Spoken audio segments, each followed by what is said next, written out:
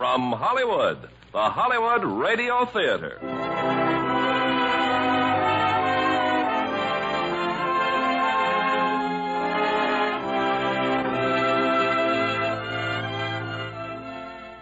Starring William Holden and Coleen Gray in Appointment with Danger. Ladies and gentlemen, your producer, Mr. Irving Cummings.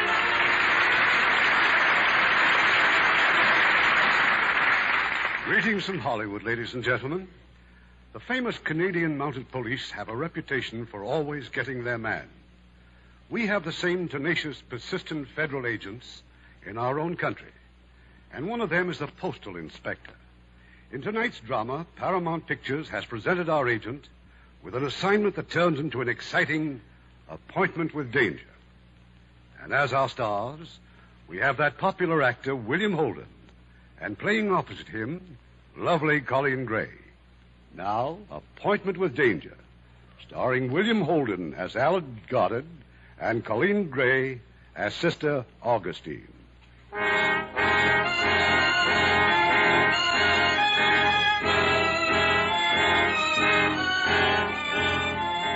The United States Post Office is the biggest business in the world. Every year it handles 45 billion pieces of mail and enough money to pay off the personal debts of everyone in the country. Policing that activity is the job of 800 postal inspectors. This is an account of one of those jobs, and it begins in LaPorte, Indiana, where a few hours ago the body of Inspector Harry Gruber was found in an alley. And now in the city post office. All right, Al. What you say makes sense, I suppose. Gruber was either drunk when they strangled him or asleep. But he never drank, so he must have been asleep. Here in LaPorte? Well, I don't believe it, Maury. He was killed somewhere else and brought here. that could be any place. Gruber was on a floating assignment all over Indiana. Yeah. Well, it's a rat race now. Until we find that nun. Nun? Oh, you uh, you mean one of those sisters? That's right. She was passing that alley last night. She saw two men walking with Gruber, supporting him. When she asked if anything was wrong, one of the men said something about their friend being drunk, so she just kept going. Well, don't try to blame her. I'm not. Fortunately, she passed a policeman not long after and told him. But the cop was on a call. By the time he got back to the alley, all he found was Gruber's body. Mm-hmm. What about that nun? Where is she? We don't know. The police have checked every nun here in LaPorte. Not one of them was anywhere near that alley last night. Well, did they bother to check the railroads? Railroads, planes, and buses. Nothing. Well, she's got to be around someplace. How many nuns are there anyway? I don't know, Al. I never counted them. You're a big help. I'll be even less help. I've got to get back to Washington tonight. From here on in, this is your case. Stay with it, Al. Don't worry, I'll find that nun. I hope so. But you've been chasing hoodlums for so long, you don't know how to treat ordinary people. Warm up, will you? Oh, sure. I'll fall in love for you. I don't think you could, because you don't know what a love affair is. It's what goes on between a man and a 45 pistol that doesn't jam. Al, let me tell you about you. That badge and a few law books have turned you into a nut. You don't like anybody, you don't believe anybody, you don't trust anybody. You think everybody has a pit. Everybody has. You, I, everybody. We're all working for ourselves. A better job, a little more dough, a round of applause. One way or another, everybody you meet is a pitch artist. Ah, skip it. Just keep me posted. And remember, the biggest thing on your side isn't a pair of brass knuckles. It's time and work and patience. Thanks, thanks. Now, do you mind if I start trying to find out who killed, killed Harry Gruber? No, no, and I'm sure you will, Al. Because you're a good cop. But that's about all you are.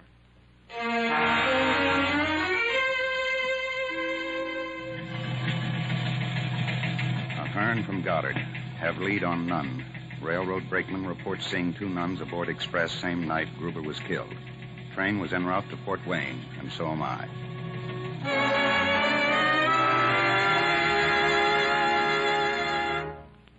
Mr. Goddard, the Mother Superior said you wanted to see me.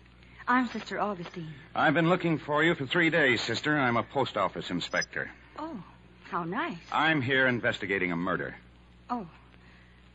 Well, I'm sure we wouldn't know anything about that.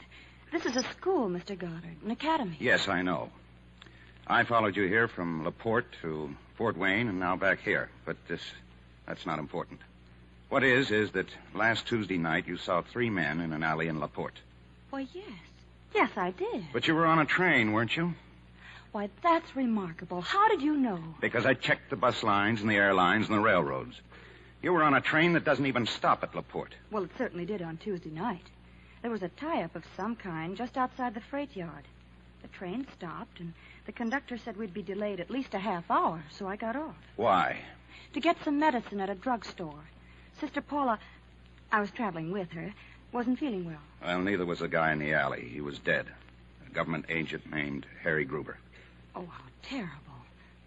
Did he have a family? What's the difference, sister? He's just as dead either way. Really, Mr. Goddard? The point is, could you identify either of the men who were in the alley with him? Well, one of them, perhaps. He was rather pleasant. He told me the man was intoxicated. Look, would you mind coming with me and checking the police files? They have quite a collection of pictures. Oh, I couldn't, Mr. Goddard. I, I, I have classes in ten minutes. Sister, it's your job to go down there. Isn't there someone else you can get? Even if there were, you should know better. Letting someone else do your job is a design of the devil. I'll see Mother Superior. You're right about letting someone else do your job. That was merely a quote. Well, whoever said it, it's very true. It's from the writings of Martin Luther. Oh? From his earlier writings, I imagine. I'll be back in a moment, Mr. Goddard.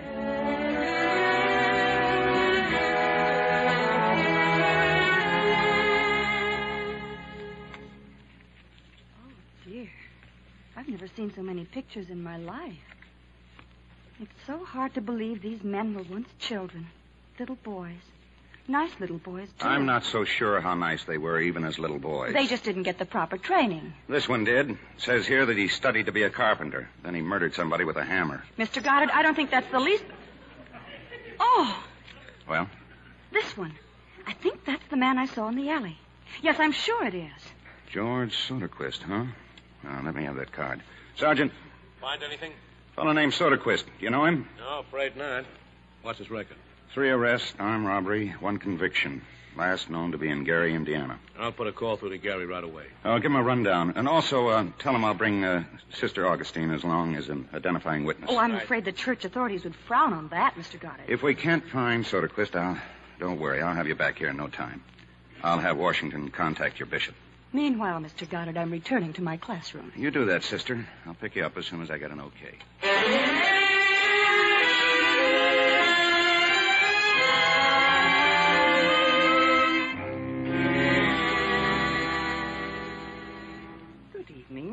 I'm Mother Ambrose. My name's Goddard. I have a letter here from the bishop. So I understand. Sit down, Sister Augustine. Thank you, Mother Ambrose. I've come to Gary at the request of the police department. We've been advised, Sister. You'll stay here at St. Michael's Parish House. Thank you. Is this Mr. Um, uh, Soderquist a friend of yours, Sister? Oh, no, no. I, I picked him out of the mug book. Mug book? It's just a phrase she picked up. Oh. Uh, will you be here long, Sister? Until we can prefer charges against Soderquist for murder. Are you sure he's a murderer, Mr. Goddard? Yes, but he'll get a trial and everything the law allows. But not one drop of charity. Excuse me, please. There's a Lieutenant Goodman from the police. He's been here waiting for you to arrive. You, uh, you don't think very much of me, do you, sister? I feel sorry for you, Mr. Goddard. I don't think you have a heart. Well, fortunately, that doesn't seem to matter so much to the people I work for, so why don't you just forget Right me? in here, Mr. Goodman. Thank you. Got it? Yeah. I'm Dave Goodman, homicide. Uh, come on in. Uh, this is Sister Augustine. How do you do? How do you do? Well, we've got your boy Soderquist staked out in the downtown pool room. Ah, that's fine. We can't move, though, until the sister here identifies him. Would you like to come down and have a look? But I. Very well, Mr. Goodman. Mother Ambrose, we'll be back shortly. Where will you be if the bishop or someone should inquire? I'll be downtown, Mother Ambrose, at the pool hall. Well, uh, not exactly, sister. Oh? There's a hock shop across the street. I've made arrangements with the proprietor. He has a fine view of the pool room. Pool rooms? Hock shops? Must I go? With any luck, you'll be back here in an hour. Let's go, Goodman.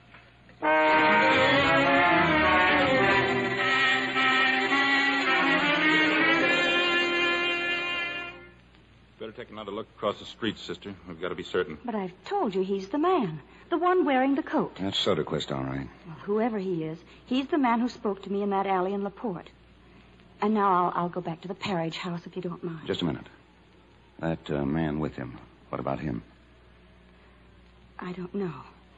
He, he may be the one who was with him in Laporte, but I, I'm not sure. That pool room's a known hangout for hoodlums. Got it? He may have a record. Yeah, let's find out. Is the tail still on Soderquist? Sure. Is that all then? For now, yeah. I'll take you back to St. Michael's. No, no, please. You're going to be busy. I'll just get a taxi down at the corner. It's no trouble at all. Alone? Well, I don't think you should. Good night, gentlemen.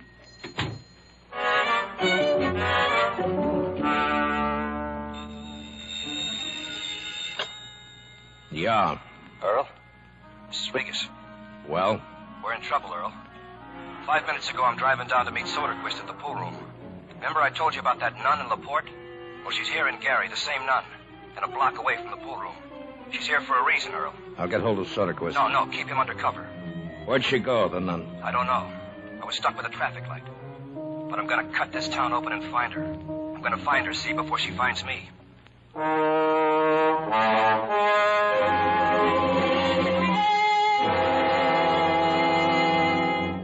You might just as well stay here at headquarters, Goddard. I'll be bringing in Soderquist any minute now. Yeah. Say, um, you know this town, Goodman.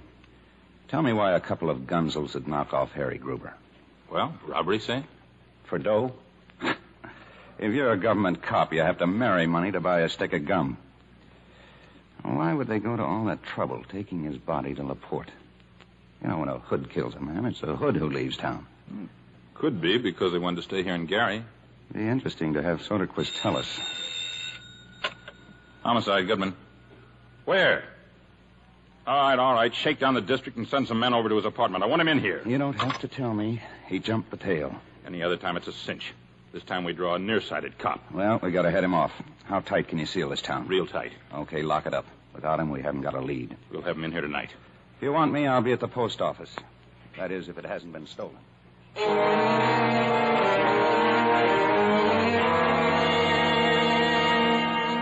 Well, I can tell you this much, Goddard. I've been postmaster here for ten years, and all that time I've never known Harry Gruber to do anything but hit town and make a routine check. But this time you say he suddenly became interested in uh, three of your truck drivers. Well, yes. Uh, yes, uh, th- these are their photographs. Gruber sat here and brooded over those files all one afternoon. I don't know for sure, but I'd guess it had something to do with the transfer of money between the two stations. What two stations? Well, here in Gary, we have two railroad stations. On through shipments, we transfer from one station to the other by mail truck. Big shipments? The one from Cleveland's a Lulu. And uh, one of these three drivers always handles the run between the two stations?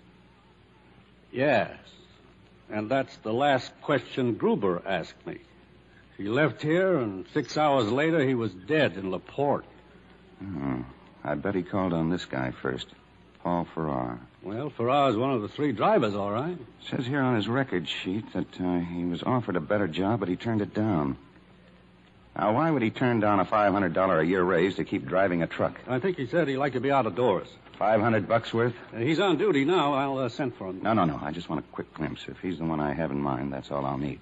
He'll be down at the loading platform. This way, got it. You see the registry board over there? Well, that's Farrar carrying the sack. This is quite a break, Taylor. I told you that Soderquist was talking to someone in the pool room. Well, that's who he was talking to, Farrar.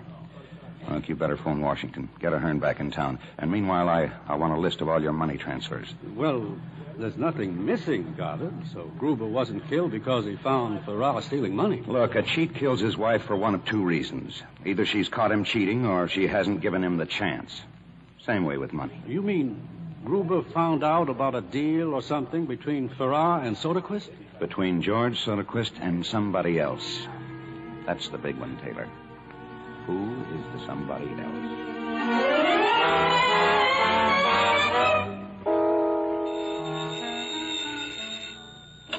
How long? Regas. Stay where you are, Earl. I'll be there in ten minutes. The nun, you found her, huh? Yeah. A place called St. Michael's School. Well? Not yet, Earl. But I got a way to do it. Sometime early tomorrow morning.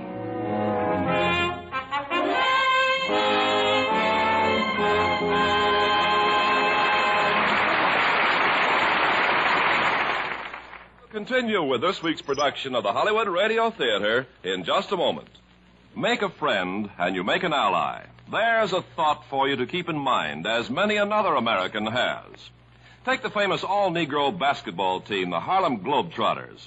As unofficial ambassadors, in one year they played ball before more than a million people on four continents. In Rio de Janeiro, they entertained crowds of from 30,000 to 50,000. During one summer, they toured Europe and Africa, chalking up another 600,000 fans.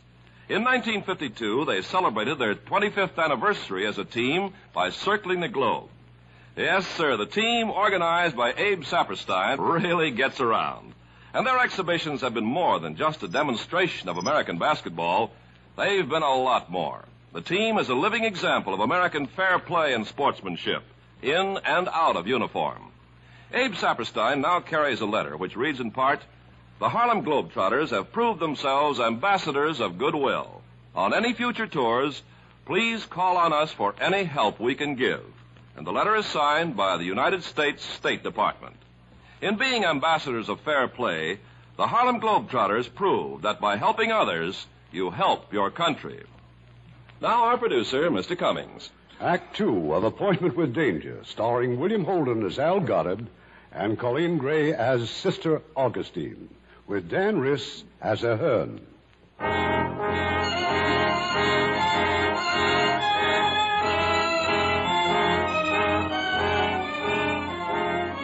It's the following morning. The man called Regas has entered a third rate hotel and gone directly into the manager's office. Well, what about the nun? She got lucky. Makes sense, Riggers. Uh, fixing the roof of the school. Tile, big hunks of tile. Yeah. So accidentally a big piece of tile falls down just when she's walking past. And like I said, Earl, she got lucky. Well, I'm glad she did. You get Soderquist? He's upstairs. You know, you're making too many mistakes, Riggers. Killing Gruber was a mistake. It happened. Now forget about the nun. We may never hear from her again. Soderquist will hear plenty from her. There's a police call out for him. You sure she can identify him? And what about you? No. But Soderquist could identify me. Well, we've got to get him out of here. Then we'll think about that nun, huh? In case she did see I me. said forget about it. I'm still running things. Remember that.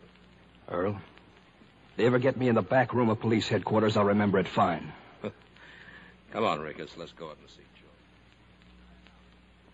Hi, Regas. Sit down, fellas. How about a, a cup of coffee, huh? I got rules in this hotel, George. No hot plates. It's a fire hazard. What? Oh, oh. Uh, I fixed the room up pretty good, huh? You got to get out of here, George. You see, you've been identified with that sister. You don't know for sure. You told me you didn't know for sure. We can't afford to take a chance, you know that. So you better go to St. Louis for a while. St. Louis? I don't even know anybody in St. Louis. You're not going there to run for office, you know, George. You're going to protect yourself and us. Come on, let's start packing. I'll help you. No, no, I'm not going. I told you I didn't want to go. You know what's coming up. You'll be taken care of. How do I know? Because I say so. Earl, listen to me. That's the most money I ever heard of. If I'm dealt out now, I don't have a prayer. Start packing, George. I'm not going. I'm staying here until I. Regas, no, no. What did I ever do to you?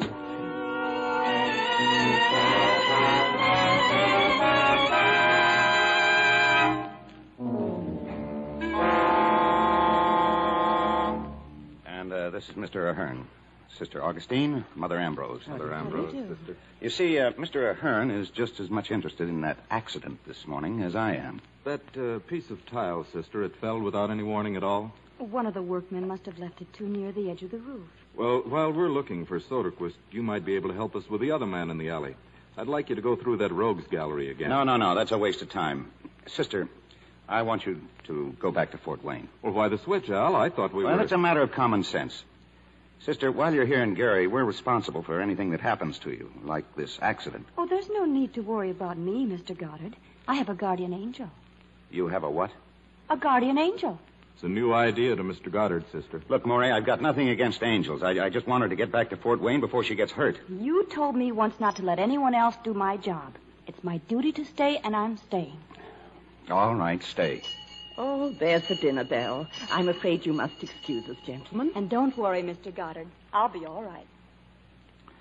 What would happen Maury, if we put the screws to Farrar? Uh, you'd blow the whole thing, so don't try anything fancy just because you're worried about that nun. I'm not worried about her. I, I just want to find some quick way to shake up Farrar and to find Soderquist. Forget and... the quick ways. You just stick to straight police work. Come on, let's get out of here. Oh, by the way, Al. Yeah? The nun. What's her pitch?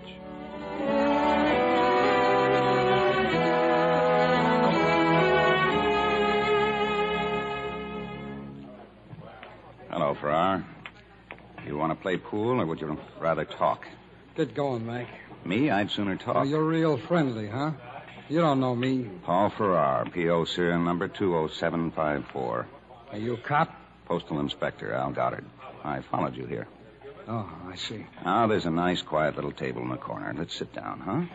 What do you... You got some questions or something? Yeah, a few. How would you like to go to prison for the murder of Harry Gruber? What's the matter with you? You're crazy? I don't even know any Harry Gruber. I believe you. But I can rig it so a jury won't. I can break every alibi you've got, and I can prove that you know George Soderquist. That you were with him the night that Gruber was killed. I don't know what you're talking about. Well, it's very simple, Farrar. I'm going to railroad you for Gruber's murder. Why? Why go out and just pick a guy up out of thin air? What's the point? The point is that I'll forget the whole thing if I can get the right price. $25,000. Oh, this is just a nice little shakedown, huh? Well, it's my welfare work. I wouldn't want to see you go to prison. Now, where would I get $25,000? Your friends. And you can tell them that I know why you turned down that $500 raise. That doesn't mean a thing. You can also tell them that I know why you drive that mail truck. Because if you don't, all their plans for that robbery go right out the window. Look, I don't believe any of this. Not about Soderquist or the robbery or this, this shakedown. I don't even believe you're a cop. Then check around. Meanwhile, I'm at the Park Hotel. Talk to your friends, Farrar. And get that money. If you don't, I'm going to frame you and wreck every chance they ever had to pull that robbery. Hey, now, wait a minute. Wait. Why are you doing this? I told you. For $25,000. And I want that money by midnight, or I catch the late train for Washington.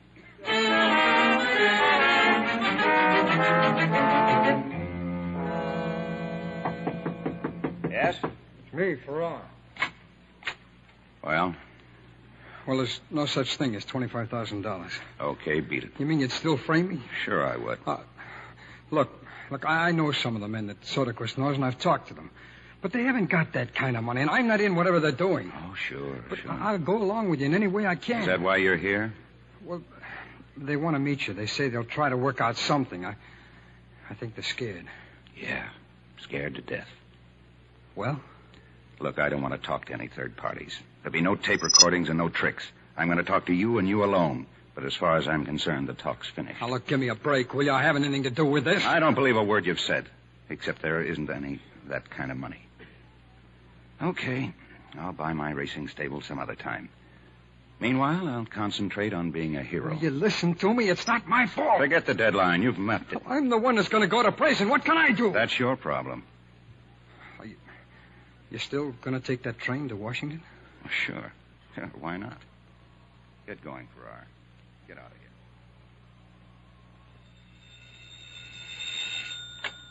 here. Yes? This is Goddard. I just thought I'd call you, Maury. I've checked out of the hotel, and I'm counting on somebody to beat my brains out in about 30 minutes. Al, what are you trying to tell me? Well, it's one of those quick plans, the kind you don't approve of. But I got a pretty fair chance of finding out who killed Harry Gruber. They've got plenty of reasons now to want me. Oh, I've told you a dozen times not to try. Where are you? I'll be right over. Sorry, Maury, but I'm on my way.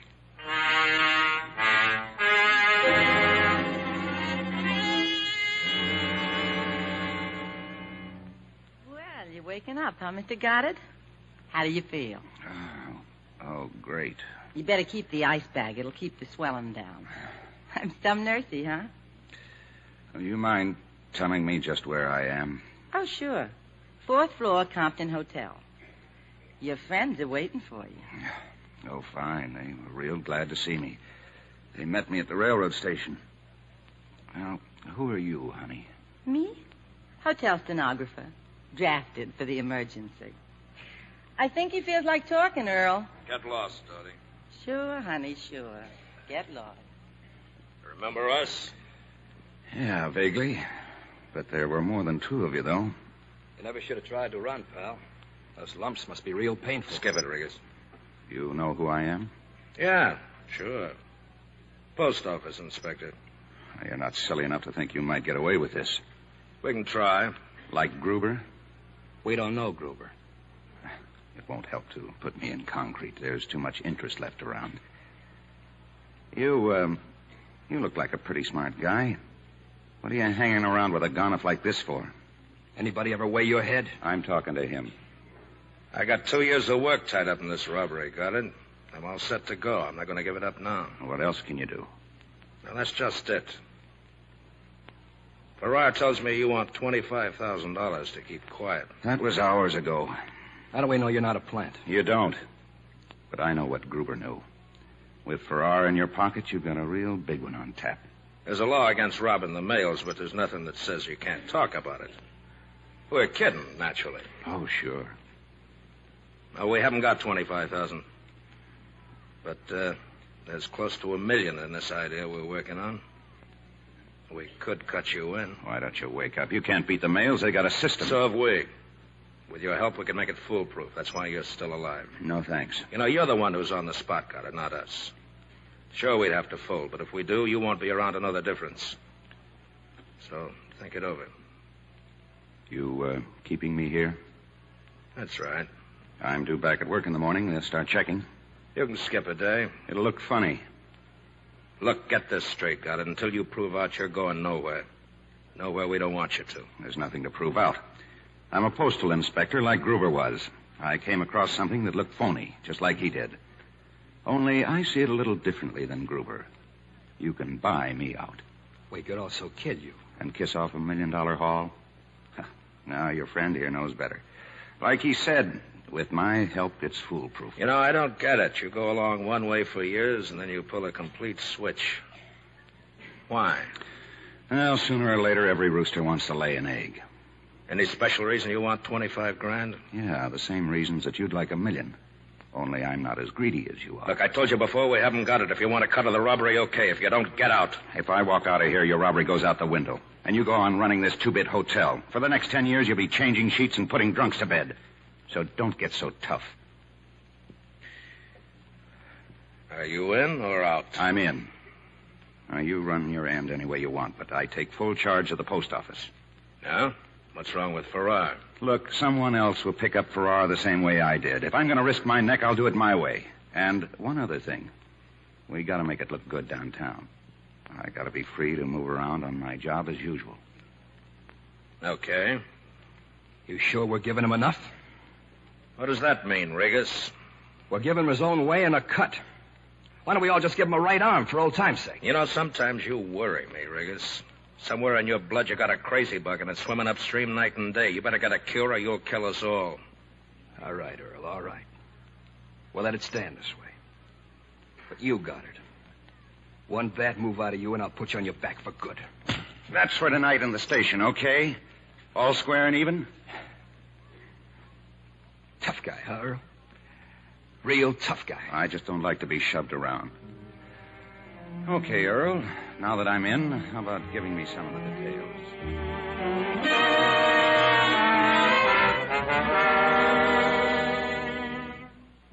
But where are you, Al? Where are you phoning from? Drugstore near the Compton Hotel, my new address. You all right, huh? Yeah, I'm all right. Now listen, Maury. We were right about the robbery. It's a million dollar reserve stick up. How'd you find out about it? Well, one thing led to another, and I agreed to help them.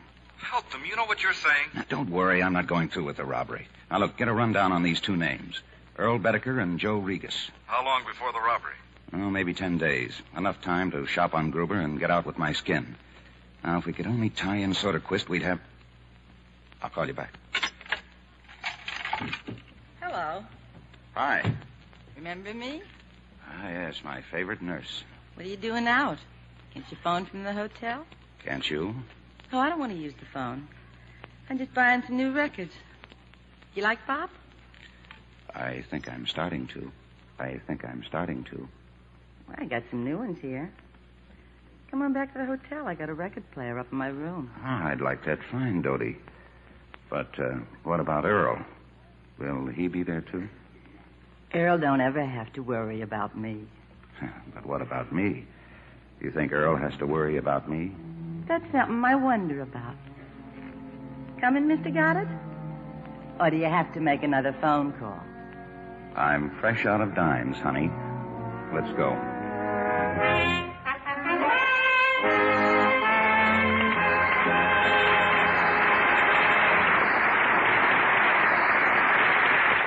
Three of the Hollywood Radio Theater will continue in just a few moments. Make a friend, and you make an ally. There's a thought for you to keep in mind, as many another American has. In 1864, Clara Barton gave up a successful job in the patent office in Washington and devoted the rest of her life to bringing physical and mental aid to the wounded and dying on the battlefield.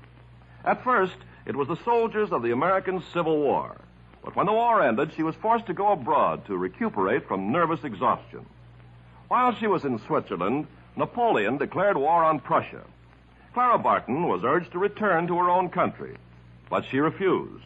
She felt it was her duty to remain in Europe and help the wounded of this new war.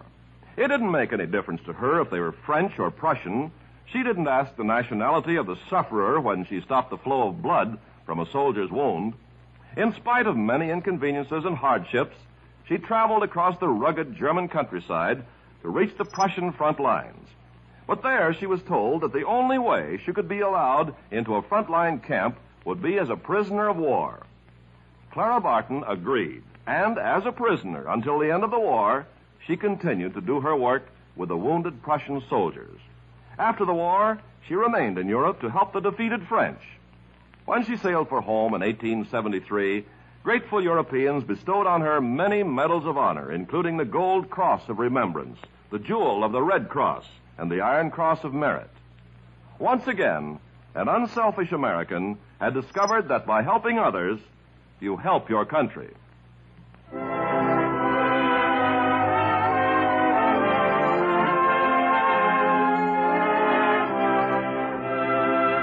Pause now for station identification.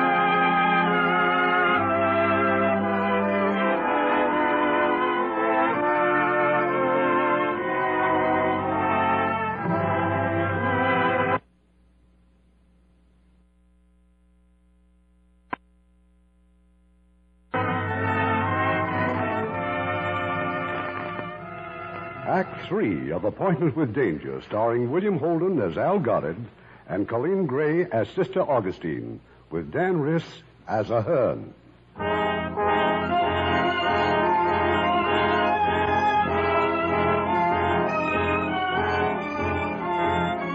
It's the following morning, and Al Goddard is once again in the visitor's room at St. Michael's School. This time with a snapshot for Sister Augustine. Uh, won't approve of my methods in getting this picture, sister. I stole it from a girlfriend of a gentleman named Earl Bedecker, but I doubt if she'll miss it. Why, it's a picture of Mr. Soderquist. That's right, Soderquist and friends. And I think one of these other men was with him that night in the alley. Now, this one.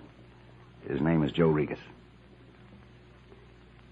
I'm sorry, Mr. Goddard, but I, I just can't be certain. Ah, okay. Is there anything else? Yes, I um, I told you to stay indoors because you're in danger. And where did I find you? Out in the playground with a bunch of kids. Now, you won't frighten me away from those children. Here, this is for you. A revolver. Mr. Goddard, please. Now, put it away at once. It'll protect you. Uh, uh, take it as a as a personal favor. I didn't know you could afford personal feelings. All right, it's it's not personal. It's routine. You know, with a little practice, you could be quite a nice man. Now, put that gun back in your pocket, and I'll show you through the back way. It may be safer for you. You're learning fast, sister. I think the government expects a lot from young men. Well, it's my job. I have to take the risk. Well, they should get some of those politicians to do it.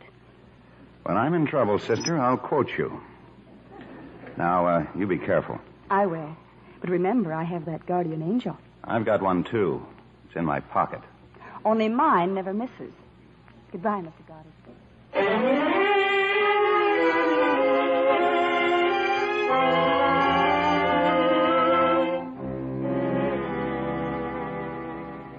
Sure you know what you're doing, Al, coming here to the post office? Part of my deal with Bedecker is to keep acting like a cop. Relax, it's okay. Well, what's this big news you mentioned on the phone? Bedecker's changed his mind. He's moved the date up. They've set the robbery for tomorrow afternoon. Tomorrow was going to be a week from tomorrow. If he suspects anything, I we're... can't figure out whether he does or not. But there's one thing for sure. He's set on tomorrow, and I can't stall it. And he's found the perfect flaw. The reserve shipment from Cleveland to Logansport. A flaw? Yeah. There's no through train from Cleveland to Logansport. The money's transferred from one train to the other right here in Gary. Yes, but it's protected all the way by armored trucks and machine guns. All except that seven minutes here in Gary. It travels from one station to the other in a single mail truck. One man and a 45 pistol. It's a great scheme. So you had to tackle the whole thing by yourself? Well, this time I did. Because you got soft-hearted about a nun? Look, she's our star witness to Gruber's murder. We've got to protect her. All right, you've got a badge. Why don't you arrest me for perjury? How can I? It's the first time I've ever liked you. Look, look, we've got to find Soderquist We before they- have found him. You what? Soderquist is dead, murdered. Goodman's men found the body early this morning in the canal. You boys keeping secrets or something? Oh, now take it easy. Take Al. it easy. The Gruber case blows up in our faces. Look, I had to wait till I talked to Oh, fine, yeah. Now I suppose they want us to go ahead with the robbery. We've got nothing this way that would last five minutes in court. But get 'em on a charge like that, and one of 'em will break on Gruber. Well, can you think of any other way? Okay, I'll go on back to the hotel. Just bail out in time, you hear me? Yeah, yeah, sure. I hear you.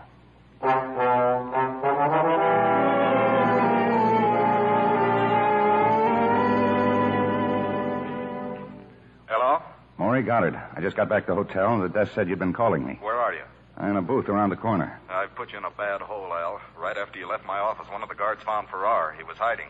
Farrar? Just outside my office. He's sure to have heard everything we were talking about. But he slugged the guard and got away. You haven't seen him yet, have you? No, not yet. But let him alone. Don't even look for him. He's bound to get to Bedecker and tell him, so pull out now and run. Don't walk. Ah, I got some things up in my room. I'll get him and meet you in 20 minutes.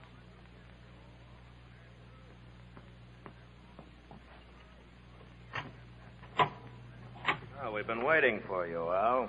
How you doing, Inspector? What's wrong? Why? Who says anything's wrong? Nobody, but I opened my door and find you here, so. We've been waiting for you, that's all. Now let's get moving. Where? What's this all about? Just a final check of the plans. We're driving out to the shack. Cronin and Gunner will meet us out there. Now? Now, pal, now. Why, you got a face a foot long. You just lose your best friend. I'm my best friend. That's what he means. Come on, let's get started.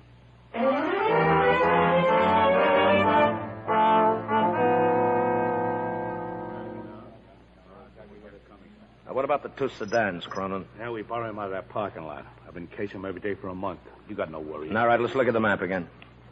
Now, at the end of four minutes, the mail truck will be right here. That's point A. We've been through this a hundred times. We'll go through it again. It's what happens after we grab the door that bothers me. It's simple. We turn west off the boulevard to point B. We switch the cars and then we. Sit down, Goddard. Sit down. Earl will answer it. Hello. All right, Dodie, what is it? I don't want him out here. He what? Okay, thanks. Farrar called Dodie. Anything happen? I don't know. Farrar's coming here? Yeah, that's right. He's on his way. I told him to stay away from us. All of us. Ah, you're jumping all over the place, Al. Settle down. It can't matter that much. Well, if he's followed, it could matter a million dollars worth. Farrar knows what he's doing. Now, let's get back to the map. Now, after point B, these three cross streets have got to be blocked off. That's Regas' job. Roadblocks, detour signs. If anybody sees us, we're dead. Remember that, Regas.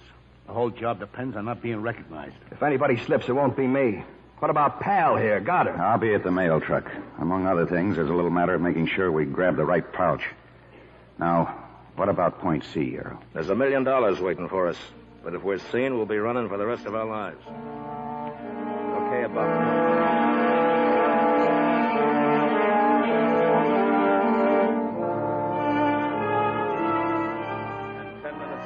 Be back here at the shack. We'll make another switch of the cars, and then we'll be. Earl, Earl, I gotta talk to. I, I, well, put down the gun, Goddard. What are you doing here, Farrar? Well, it's a, about tomorrow, Earl. I, I gotta make sure. I. Hey, what's he gotta go point a gun at me for? Maybe we ought to rent you a memory. Earl told you to keep away. After this thing happens, the town's going to be flooded with federal men. We're all going to be in a spot, so the first guy who talks is going to get a headache he can't cure. You understand, Farrar? Yeah. Yeah, yeah, sure. Anything else, Earl? No, let's break this up. I'll drive back to town with Farrar. But why can't You I... heard him. The next time you want to see me, phone the hotel. Let's go, Farrar. I don't trust him, Earl. That punk Farrar. He's scared. He'll do what he's told. Like Soderquist. Soderquist was scared, Now, too. no more of that stuff. I've had enough of it. Look, our luck's gone bad, Earl. It went bad that night in the alley. Stop thinking about that nun. You want to know why I think about her? Because I'm hot and you're not. And sometime years from now, maybe when the rest of you are all scattered, somebody's going to tap me on the shoulder. That's why I think about it. Yeah, but you're clear. Soderquist is dead, and you say she never even saw you. Yeah. And sometimes I believe that. Sometimes for as long as two or three minutes at a stretch. Just watch how and where you drive, Farrar. There's a gun in your ribs. You behave yourself, you keep away, and you might get off with five to ten years. Five to ten. Oh, thanks. That's sure going to help with my love life. It's more romantic than being dead. Now, drop me off at the hotel.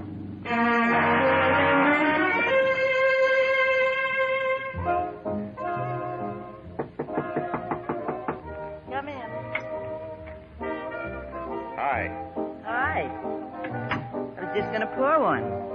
Join me? No, thanks, Dodie. Uh, can we turn off that music for a minute? Huh? Well, yeah, sure. Earl come back yet? Uh-uh. Unless he's downstairs. Dodie, uh, what did Farrar want when he called you? Well, all he said was he had to talk to Earl. He sounded real nervous. What did he lose, an ML stamp? You know, Dodie, I'd give an awful lot to know what goes on behind that makeup. For instance. Does, uh, You afraid of me, Al? does Earl ever get jealous? He understands. You can put strings on good women or bad women. But you can't do anything about the lazy ones. You can beat them. They stay about the same. Can't make 'em do the right thing or the wrong thing. They're lazy. They do the easy thing. And if uh, Earl found me here with you now, alone, I don't know. But it sounds real exciting. a little too exciting, honey. Oh, uh, if Earl asks for me, Yeah? tell him I'm at the post office making a final check.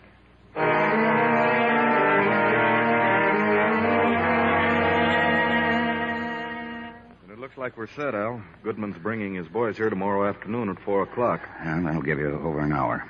Okay. Now just tell him to be careful. I'll be riding in the hold-up car. And don't close in until we're all back at that shack. Now, what about Farrar? Goodman's tailing him. He'll pick him up at noon tomorrow. He'll be safer in jail. I'll keep him there. Bedecker doesn't want him around either until it's all over. Where you go now, Al? I'll back to the hotel by way of St. Michael's School. So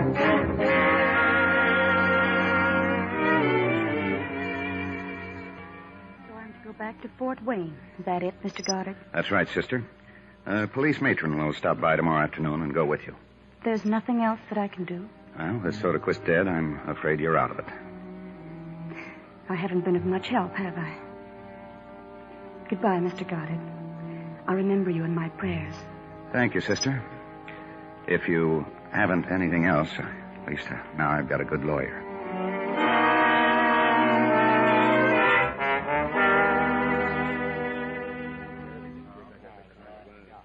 Well, we better start. It's almost five o'clock. Anything from you, Al? No. Now, look. Just don't get gun happy. You can rob Fort Knox and live, but steal a dime and kill a post office clerk, and they'll spend the rest of their lives running you down. All right, start moving, Cronin. Uh, there's one other thing, but I'll tell you later in the car. We're changing point C. Right. What do you mean you're changing point C? Sounds simple, pal. We're changing it. I found out just a couple of hours ago. Found out what? There's a better road to the shack. There's less traffic. So we're changing point C. Is there any reason why we shouldn't? No. No, I guess not. You're not driving, so don't let it worry you. Now, where's your coat? In my room. Well, get it. Then go out through the lobby and meet me in the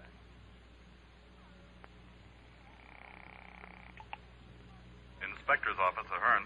I'm phoning from my room, Maury, but uh, there's no time, so don't ask questions. Go ahead. They've just changed point C. I don't know the new location. That means you'll have to watch all the roads in case there's a slip up. If there isn't, they'll wind up as scheduled at the shack. Now, I won't have a chance to. I'd say you pulled a boner, Al. I'd say so too, Dodie. I heard what you just said on the phone. Might help if I hadn't been with Earl for so long. You're gonna tell him? If I told him, he'd have to kill you. That'd make me, what do they call it? Accessory or something? And you don't love anybody that much. Not 25 years worth. I'm a loser either way. Suppose they get away with all that dough this afternoon. Be wearing mink coats and hideouts and hamburger joints. Living on the run till they catch up with Earl. Well, at least you read the book. What are you going to do, Dodie? When you walk out, I'm going to pack my bag and leave. I'm going to forget names and faces and what's going to happen to all of you in the next hour or so. They can still get you for withholding information. Not if I tell a government agent. So I'm telling you, they're going to hold up a mail truck. I got to pack, so goodbye. You uh, won't get a gold star, but thanks anyway. Don't bother. Earl was good to me. I hope he kills you.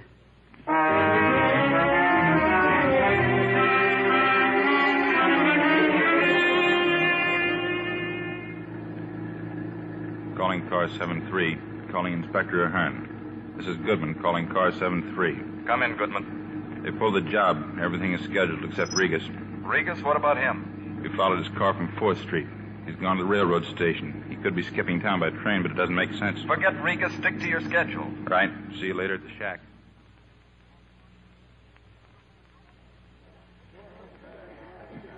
Afternoon, sister. Good afternoon. I'm from the police department. We'd like to talk to you. But I, I thought I was to go back to Fort Wayne. Yeah, sure, later. Well, if you think you need me. Oh, the matron. She's getting our tickets. I'd better go and tell her. Oh, look, her. there isn't any time. My partner will tell her. This way, sister. My car's just outside.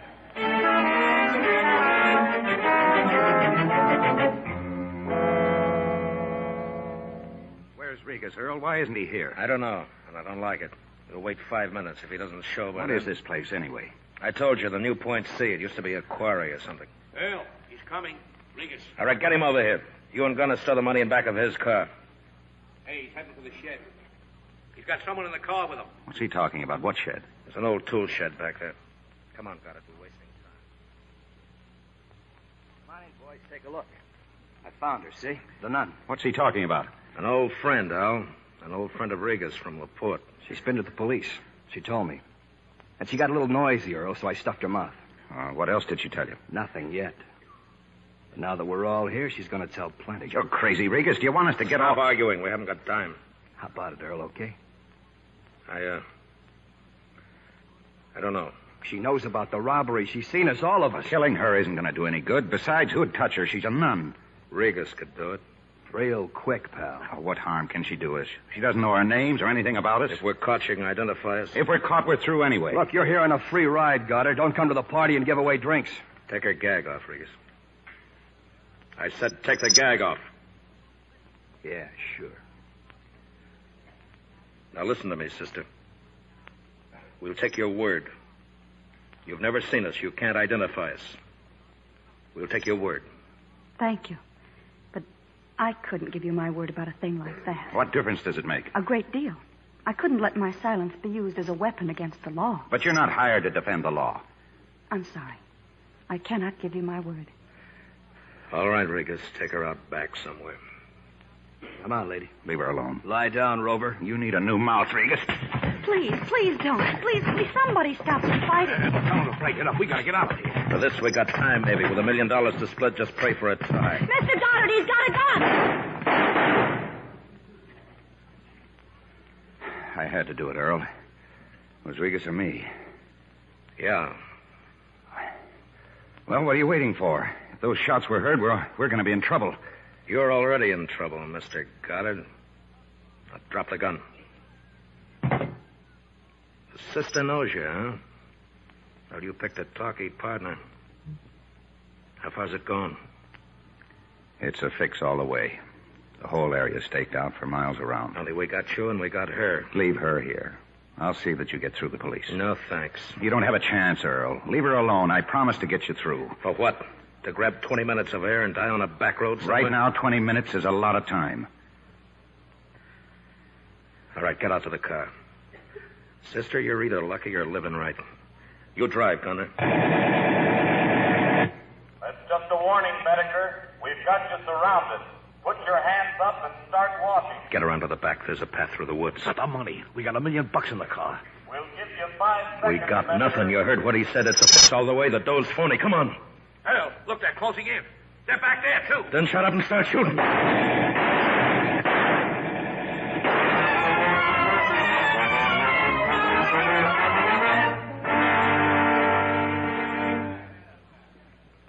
I'm Lieutenant Goodman, Bedecker. We're taking you to a hospital. If you got anything to say, you better say it now. Uh, I'm gonna die, huh? You asked for it, Bedecker. Yeah. Sure. Well, where's Goddard? I'm here, Earl. It's too bad. I'd walk over, but I can't. My leg. Your aim was a little low. Just tell me one thing, will you? For the record, Al. w- Was the dough phony, too? No, it was real. You'll die rich, Earl. Take it easy, Al. Did you get 'em all? We got him. Mr. Goddard. It's all right, sister. I'll make it. Now, you did fine. You sure you're not hurt? No. When the shooting started, I just threw myself down on the floor. That's what the boys do at school when they play those terrible games. Maury, get her on that train, will you? I, I think she wants to get back to those kids. I've got a car waiting anytime you're ready, sister. Thank you. Goodbye, Mr. Goddard. God bless you. Well, for once you were right, Maury. Somebody who doesn't have a pitch. Al, if you stay with it and work real hard, one of these days you're going to qualify for the human race. Thanks. I may join at that.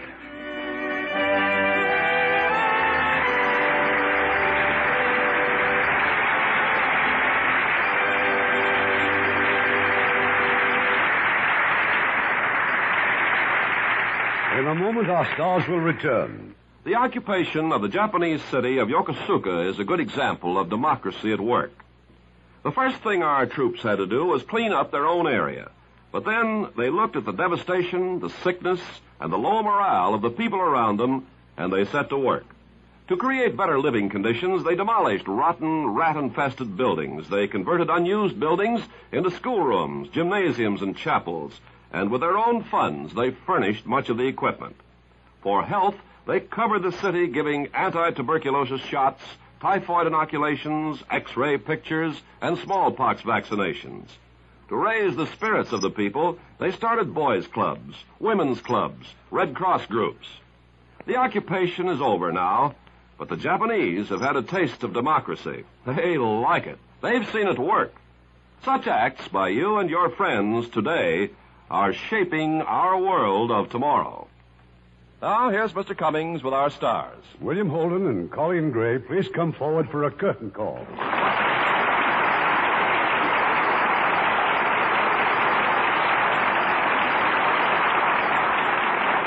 Bill, have you ever had a real appointment with danger? Well, Irving, I tried to walk across Hollywood Boulevard again this afternoon. Don't let him kid you, Irving. A few months ago, Bill made a trip to Japan and Korea to entertain our troops. He went to the front lines and hospitals and talked to the boys. well, it was a real privilege to meet them. I hope to go back soon. How about you, Coleen?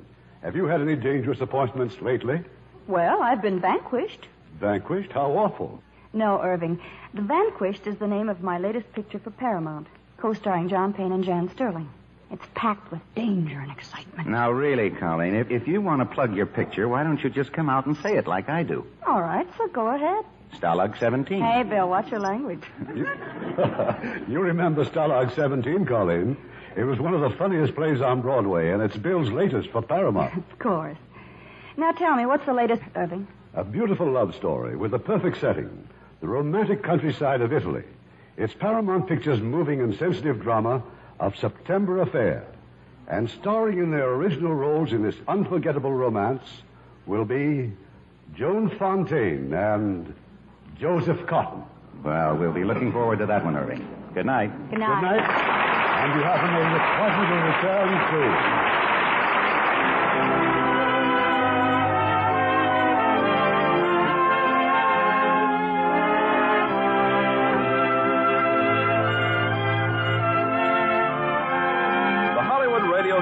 soon. produced by Mr. Irving Cummings. Our orchestra is under the direction of Rudy Schrager. This is Ken Carpenter inviting you to join us next week at this same time for another presentation of the Hollywood Radio Theater. Hollywood Radio Theater is a presentation of the United States Armed Forces Radio Service.